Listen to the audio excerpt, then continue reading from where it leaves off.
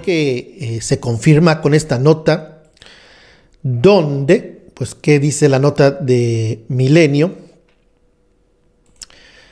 Esto es lo que dice la nota de Milenio, se las comparto tal cual.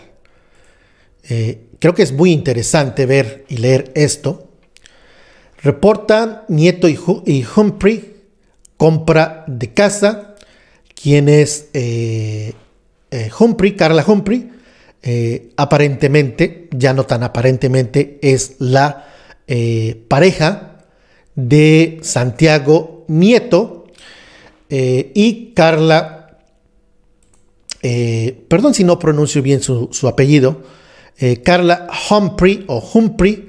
Eh, aquí la nota de Milenio dice, y aquí ustedes la pueden ver, ahí está en pantalla, pueden ver eh, pues que pues se da a entender que son pareja.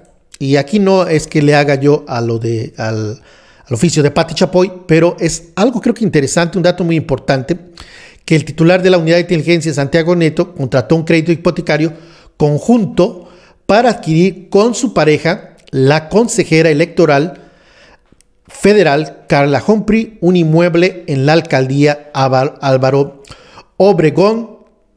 Y aquí Milenio presenta los documentos, eh, da, esto aquí ya no es un rumor, sino que detallan que en efecto Santiago Nieto, junto con su pareja, la consejera del Instituto Federal Carla Humphrey, adquieren una propiedad.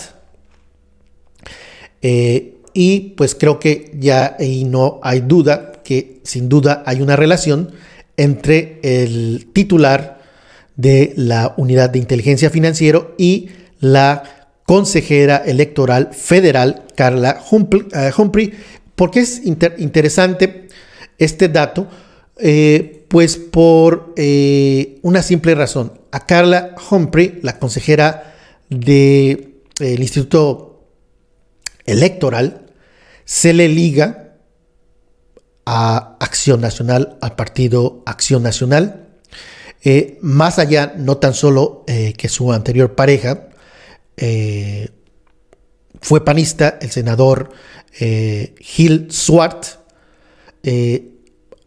a ella la definen como una persona, Carla Humphrey, como una persona cercana a Acción Nacional.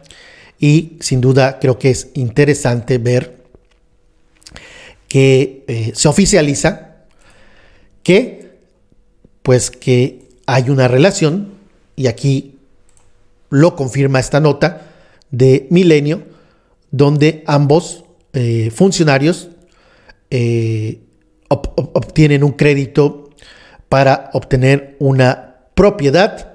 Al final de la nota dice, eh, cuestionados por separado sobre sus planes para contraer matrimonio, como lo han dado a conocer diversos medios, Nieto y Humphrey declinaron confirmar la información.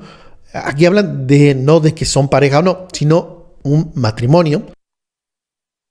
Dicen, es un proyecto que responde a su vida privada,